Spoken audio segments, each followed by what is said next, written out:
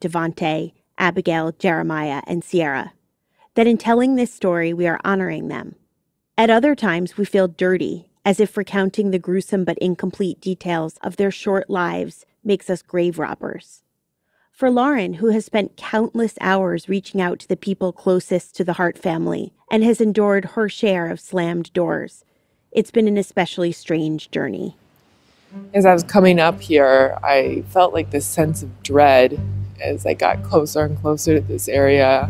Um, it's been so many months that I've been looking into every last lead that I could find, calling so many people, some who talked to me, many who wouldn't, and uh, requesting all these documents. It's been so much for six months now. And to actually come to the spot where the story both began for me and ended for them, just, I had so much anxiety about it, honestly, and sort of feeling of dread about it. In April 2019, a full year after the crash, a formal coroner's inquest will be released to the public. At that time, a jury will convene to decide whether this was a murder by one person, a conspiracy to murder by more than one person, or an accident. And then, in so many ways, it will be over. From Glamour and How Stuff Works, this is Broken Harts. I'm Justine Harman. And I'm Liz Egan.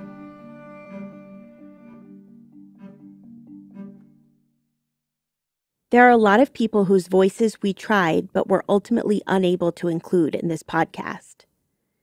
In November 2018, over the course of three consecutive days and after several months of outreach, Lauren spoke with Sarah's father, Alan Gengler.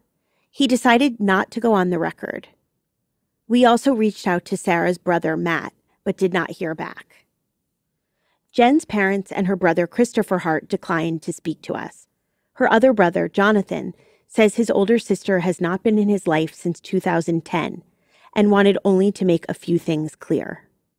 In an email to Lauren on September 25th, 2018, Jonathan wrote One thing I would like to clarify for myself and my family is that Jen was not ousted from the family for being gay. I have been openly gay, even in high school, and it never affected me living in my mom or dad's home. He continued, If anything, all this time, my family did nothing but try to help and understand Jen, not work against her. Two months after he sent that email, Jonathan spoke with us over the phone. He doesn't want his voice on this podcast, but he gave us permission to relay the following. Nobody has done anything to warrant this, he says. All I have seen my whole life is her getting my parents, grandparents, anybody jumping through hoops to give her what she wanted. And that's all I can say. People loved her. They really stuck up for her. It really hurts me when this stuff gets reflected on my parents. That really hurts my feelings. My mother is wonderful, and she did put up with a lot from my sister. We all did. Sources close to the Genglers told us the family had not been in touch with Sarah for a long time, but it was Sarah's choice to cut off contact. The distance, one says, had nothing to do with them rejecting Sarah's sexuality.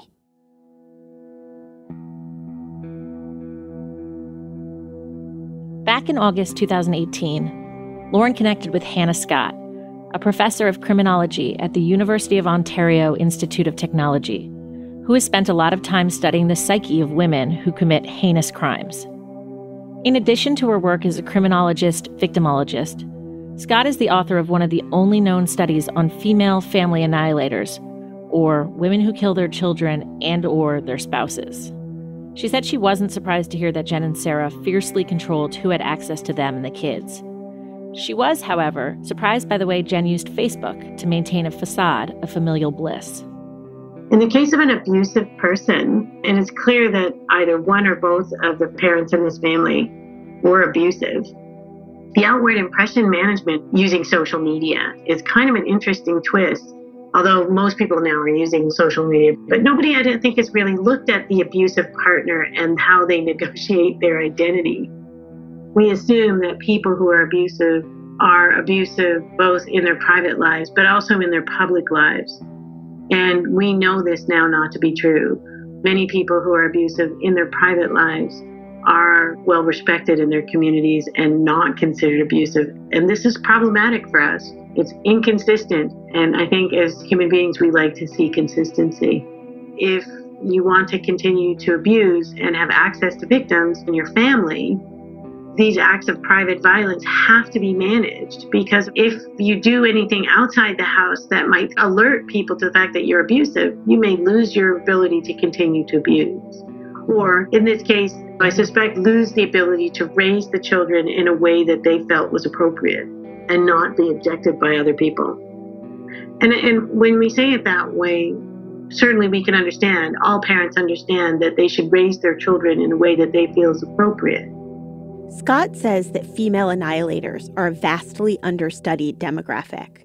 And a lot of that has to do with the fact that we as a culture have a hard time believing that a woman or women would kill their own children.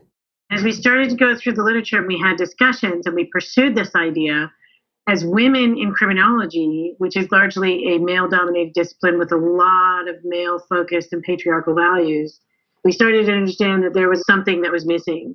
One of my first writings was looking at the female serial killer, which at the time when I started my writing, way back in the day, didn't exist according to many people. And so I spent a lot of time challenging those values and saying, yes, they do exist. And not only do they exist, they exist in large numbers.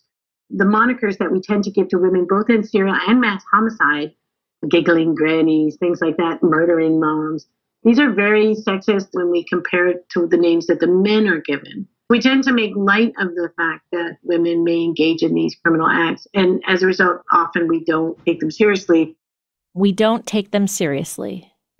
It's something to keep in mind when considering that cryptic note from a Minnesota child welfare worker after the first incident of abuse was reported back in 2008. The problem, it said, is these women look normal. Though Hannah Scott has never seen a case quite like this one, the continued abuse across several states makes it unique, and there has been little research on same sex domestic violence. She has seen incidents of women who kill their families with what might sound like a counterintuitive motivator love. The woman and her children are often separated and living in a separate dwelling, or have left the spouse and are living in another place, even temporarily. They kill their children because they couldn't see them being raised by the opposite parent, for example, or they couldn't see themselves actually sustaining these children now that they were alone. We haven't found convincing evidence that Jen and Sarah were headed toward a breakup, or as we explored in the previous episode, that there was some catastrophic future event on the horizon. But their relationship had been strained. Over the years, they had spent months of time apart. Jen would often travel with some or all of the children, while Sarah would stay home to work. Sarah was the sole breadwinner, and money was tight. Jen once emailed a friend that she and Sarah expressed themselves in different ways. She wrote, For quite some time, I have felt very underappreciated and taken for granted in our relationship, and at times unloved. While I know deep in my heart how much she loves me, she is just horrible about showing it. We are complete opposites in this regard. The email continued I never miss an opportunity to tell someone how much they mean to me and that I love them. As a mom, I have felt that I have been raising the kids on my own. She admits this too. While she loves them with all her heart, she has not been fully present with me or the kids. The last known footage of Sarah Hart is of her leaving Kohl's at 5:24 p.m. on March 23, 2018, 3 days before the crash and a mere 7 minutes before Child Protective Services arrived at their home. She's wearing a dark hooded sweatshirt pulled over her head and is clutching her cell phone. It's impossible to know what was going through her head or if she knew what was about to happen. It's impossible to know what she and Jen did or didn't talk about over the course of the next few days. But Hannah Scott says the unimaginable might have seemed, well, logical to these women. People can be overwhelmed without necessarily experiencing mental illness. In some cases, homicide, even though we feel uncomfortable saying it, can be a very rational choice to some people, given their life circumstances.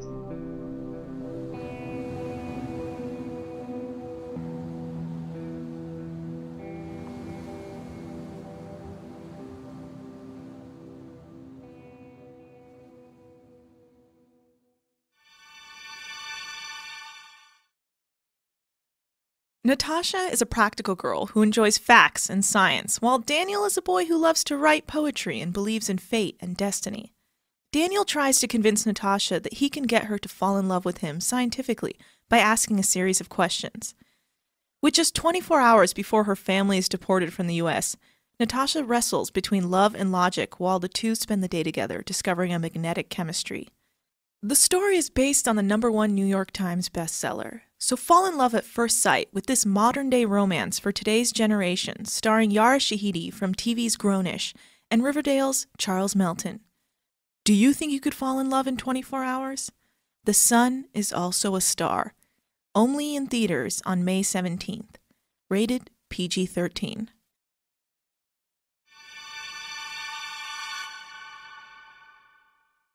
When Lauren met with Mendocino County Sheriff Tom Allman, he reiterated what he said many times before.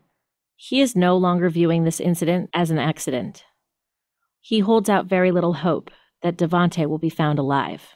Do I have any hope? I guess I have hope. Do I have any realistic hope? No, I don't. The fact that there's been no indication that he's alive should cause someone to say, well, he was in a car. But I have no problem of someone bringing Devonte into our office today and saying, "Listen, Devonte's alive and well, and he was just hiding out." I'd give the kid a big hug and say, "We've never met. It's very nice to meet you." Sheriff Allman and his team have spent the past eight months trawling the coastline for the missing children, examining the evidence they do have, and preparing for the upcoming coroner's inquest. Allman says an inquest of this nature hasn't happened in Mendocino County in over 50 years but according to the law, its function is to inquire into and determine the circumstances, manner, and cause of all violent, sudden, or unusual deaths. Over the course of two days in April, a jury of 12 citizens will rule what the cause of death was for all the bodies found at the crash site. Sheriff Allman says he hopes to live stream the event in order to put the questions to bed once and for all. We have a job to do just to find out the truth of what happened. We have gathered a team of experts that will be um, making sure that what we're going to say at the inquest is 100% true and accurate. And a coroner's inquest is going to, in my opinion, give evidence that will shock the consciousness of people who are following this case. And what, what can you give? Not a bit. I'm not going to talk about any of that. I'm going to tell you that we're not on a fast timeline to throw this information out right now, but I, um, this will be a water cooler conversation throughout our nation. For those who were critical of how long it took to positively ID Hannah's remains, Allman says DNA simply isn't something you can match overnight. I think that TV has presented a false narrative to viewers regarding how easy it is to get DNA compare it to fingerprints. Fingerprints are really good if you know which fingerprint to compare it to. I've taken, I'm going to guess, hundreds, if not thousands, of burglary reports where fingerprints were obtained, but if you don't have anybody to compare them to, okay, so you have fingerprints. And DNA is the same way. If we have DNA, you know, from a foot, and we say, all right, gosh, we have the DNA results. If we don't have anybody to compare them to, then it's the same as a fingerprint. These children were adopted, and we didn't have a lot of information. So it wasn't an easy task to do. He says the biggest holdup in this case has been trying to get information from the adoption agencies. The fact that law enforcement has been stymied at finding out information regarding the adoption records and the accountability of foster parents should concern a lot of people.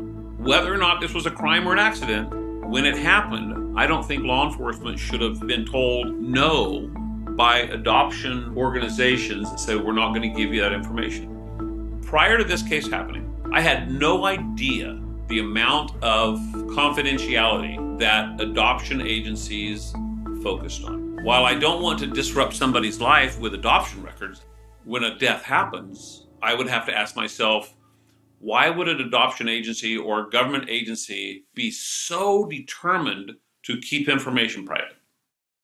So, how much of what happened to the Hart children can be put on the agencies tasked with making sure our youngest citizens are being looked after properly? Dr. Doris Houston, the interim director at the Illinois State University School of Social Work, points to the lack of interstate communication between all parties. She also singles out the state of Texas, from where all six children were adopted, as keen to terminate parental rights and collect placement fees from the government.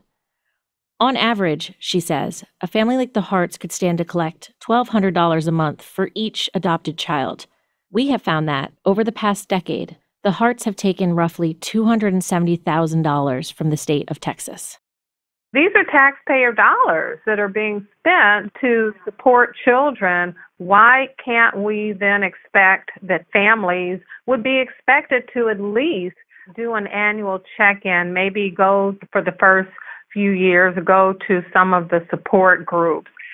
I was surprised to find that Texas essentially has a standard of automatically preparing the paperwork for adoption it makes it difficult to envision the effort is really being put into family reunification if from day one that is the policy to begin to prepare children for adoption. Dr. Houston says once an interstate adoption is completed, the state of origin is no longer responsible for an adopted child's well being. With Texas allowing the children to be adopted in Minnesota, they essentially are absolved of all of those responsibilities. It now rests at the hands of the receiving state.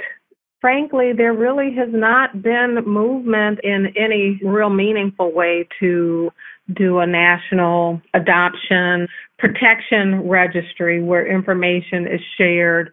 Hannah Scott, the author of the study on annihilators, calls these interstate disconnects linkage blindness a term coined by criminal justice expert Stephen Egger.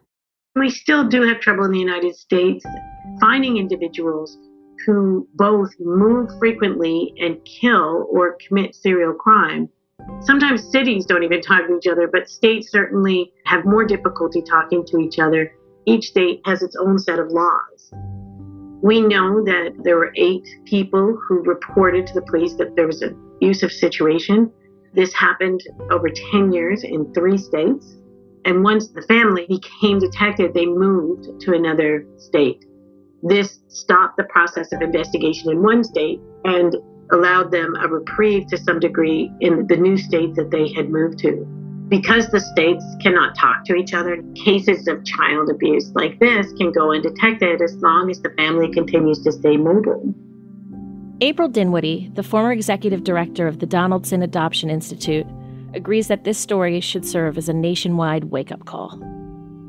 I was at a camp for families who adopted transracial and and I, I talked about that case being a cautionary tale of how broken the system can be and how important it is for us all to be taking care of ourselves and doing well and and getting the help that we need and getting the help for ourselves and our children. Um, and I talked about it at another sort of gathering of professionals some were transracially adoptive parents and and there's a lot of head hanging and a lot of tears and um, people are feeling it.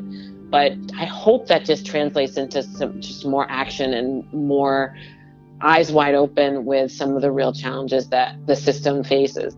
And and quite frankly that that people face. Look i didn't know the Harts. i don't i don't know what drove these women to to do to adopt to whatever. But like there was something clearly wrong there too and even those people who do such things need to have some kind of care and support as well. Like like they just don't get erased either. There's mental health issues in, in all of this that need to be addressed that clearly were not I've just found, like, when I talk to friends and mothers in particular, that everyone has something to say about this case. Mm. Everyone honestly reads something about their own life into this case and feels guilty about that. Like, even, you know, just like a mom, she has a biological child, and she was just like, yeah, that case just made me look in the mirror and realize how much just utter power you have over young children and how just guileless they are. Mm-hmm. You're all they have in those early years. And it made me almost scared of my own power that I have being a parent. Mm-hmm. There's so many layers. There's so many layers. The power of being a parent is something we rarely talk about in our daily lives. but it's something most of us with kids understand in our bones. Sometimes, when I tuck my two year old in at night, he recently graduated from sleeping in a crib to a twin size. He gives me this look like, I'm gonna get out of this bed, and I give him another one that says, Don't you dare. And he doesn't. He doesn't dare. What a strange influence to have over another person. But what if I pushed it a little further? What if I told him that something bad would happen to him if he got out of bed? What if, and this is honestly hard for me to say out loud, what if I held him down until it hurt? How long would he stay in there? Would he love me any less? Or would his devotion to me become stronger, more desperate? Would he wonder what he could do to make it go back to the way it used to be? Back to when I would lie in his little bed without a blanket and cuddle him until he fell asleep, even though I'm impossibly pregnant and it hurts my back. How much would his mind go? Every notice was still stuck on the front door, dated a month after the crash. Dana and I peeked through slits in the blinds. The living room was sparse except for a few chairs,